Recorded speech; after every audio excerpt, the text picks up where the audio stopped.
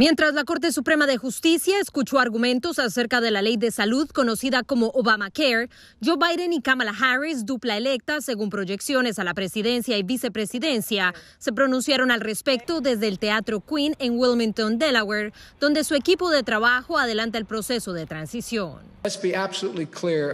Dejemos absolutamente claro lo que está en juego. Las consecuencias del argumento de la administración Trump no son académicas ni un abstracto para muchos estadounidenses. Es más bien una cuestión de vida o muerte en el sentido literal. Este argumento determinará si la cobertura de atención médica que más de 20 millones de estadounidenses requieren en virtud de la ley de atención asequible se eliminará en medio de la peor pandemia de la nación. Durante la mañana del martes, Biden habló telefónicamente con seis líderes de naciones aliadas, entre ellos Alemania, Francia e Inglaterra.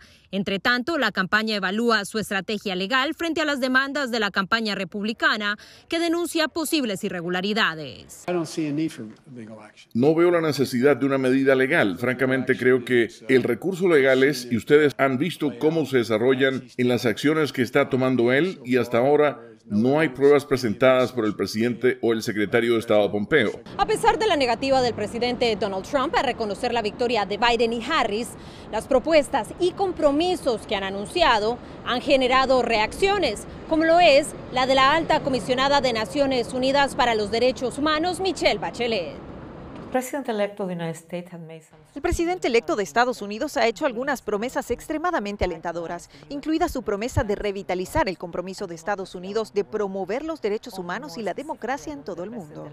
Celia Mendoza, Voz de América.